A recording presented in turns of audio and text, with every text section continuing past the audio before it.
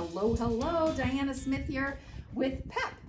Um, this video is going to be kind of interesting. We are getting ready to record another YouTube video. So the horses can't go looking real sketchy on camera. And I thought it would be fun for you to see how they, well, one, how sketchy they look right now, and then um, just getting them ready to actually do the filming of a video. And right here, I'm gonna loosen up his halter and use the clippers. This right here is called a bridle path. Now, some people may or may not have it on their horses. Because I used to show, I love a bridle path. It's just an area where the halters sit and then you don't get a bunch of matted up hair here. Um, some people don't do it and you know, it's personal preference, but my horses have to have a trim. And because I used to show, I really, really like keeping them looking cute. I mean, I don't go around unshowered with my hair looking messy, so I don't like my horses that way either.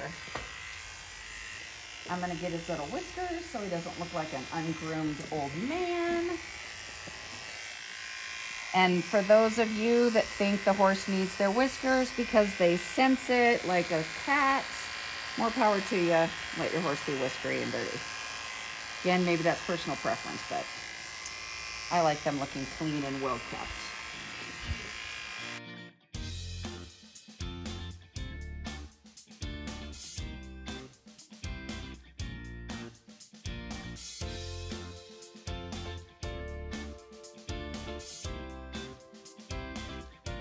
The flies are horrible right now, but you will definitely want, you'll understand why I am not dousing him right now with fly spray. If you're curious about that, watch this video right here and it will answer the question as to why I am not giving him relief with fly spray right now. Slowly take off these, never, I never take his eyelashes off because they're beautiful, but these little, well, I'll do it. There's like these little long, but see, look at these eyelashes, like right here. His eyelashes are gorgeous. It's just these long, sketchy ones. They're like the, it's kind of like the hairy big eyebrows. We keep our brows groomed, so, but not our lashes. What I do here, because it is, we do get flies and bugs, if, like I said, if he was going to a show, some people will clean the ears totally out, but realistically, he's gonna stand in the yard for a YouTube video. So all I do here to take some of the fuzzy, the hair keeps the flies and bugs out of his ears. But what I do is I close his ears like this, and then you see these hairs coming out. Can you see them okay? It's kind of like, you know, old men who have the hair coming out of their ears. You want to trim that shit.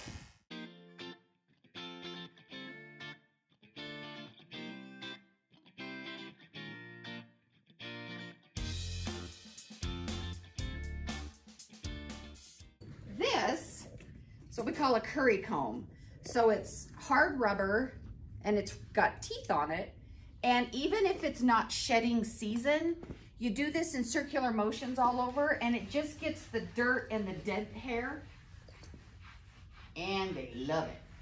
But see, it's not shed season and look at all this crap comes off.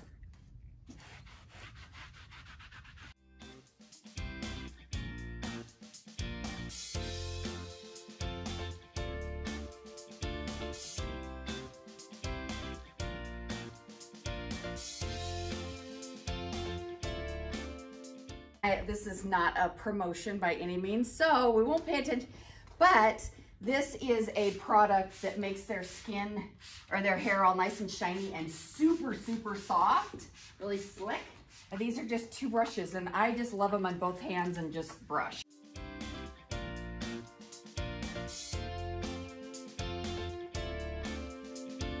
When it comes to his mane, now it's totally personal preference. Again, it's just like the bridle path is personal preference.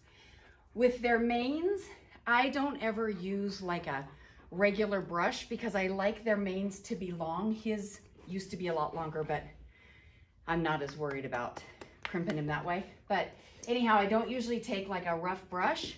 So I put something on it or I wash it so it makes it really slick and I can run my fingers through it, but I don't want to lose hair. So, so I just use a soft brush that isn't gonna pull his mane out. If I actually wanna brush through his mane, I do that after he's had a bath.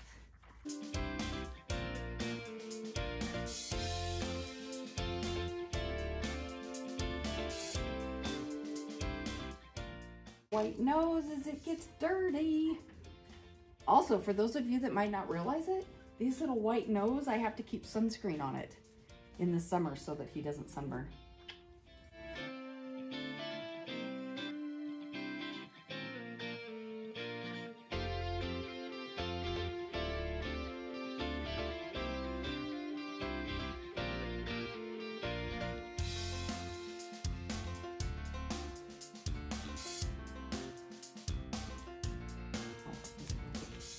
What I'm doing here is putting a tiny bit of fly spray on him, just a very tiny bit because the flies are horrible.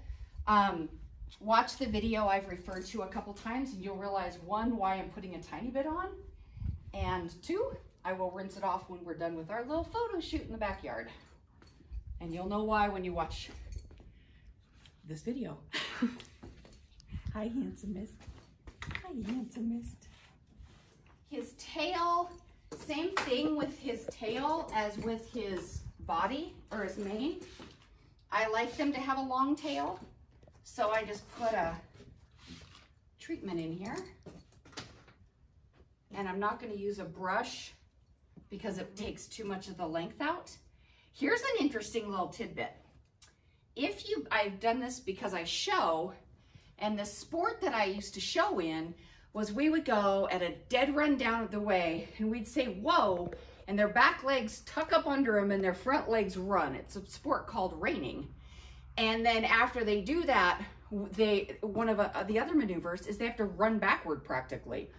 When they do that, when a horse backs up and their butt tucks under and they back up, they'll step on their own tail, which is gonna hurt. It's like ripping out your own damn ponytail. Nobody wants to do that. So Again, personal preference, groom how you want to groom, but it's my channel, my horse, my way of grooming. Oh, something scared another horse. Looks like I've done this not too long ago. And then, but anyhow, I would do this and then I would just nub it off so that if he backs up with it about that length, he isn't gonna pull his own tail out. Because if you, if you compete with the horses and they back up quick and pull their own tail out, they'll stop backing up so willingly for you because they will equate going backward with pulling their hair out. So I know that's way more advanced than we planned on covering on this, but hey, knowledge is power, right? Knowledge is power. Actually, let me correct you, or let me correct myself. Knowledge is not power. It is the, the hell am I talking? What am I thinking? Lily, what am I thinking? I think that he looks handsome as hell. So with that, he is going to go in the backyard and be the star of said YouTube video. So thank you very much for watching and see you next time.